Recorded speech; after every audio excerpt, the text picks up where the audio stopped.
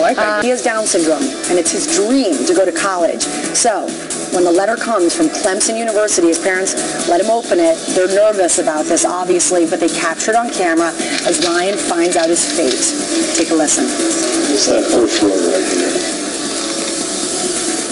Let's have a. It says, congratulations. I got, I got accepted? Pleased to inform you of your acceptance into the Clemson Life Program for the fall of 2014, beginning August, August 17, 2014. Did say yes? They said yes. What do you say? Yes! Oh, yes! Oh, God. This is crazy. Happy? Yes! Rion's mom said You're he going got to be a one. college student next year. Mm. You're going to be a Clemson He got one of only five or six spots in Clemson's life program. It will, te- it will teach him to live independently and give him job training. Congratulations, Rion. Go Tigers.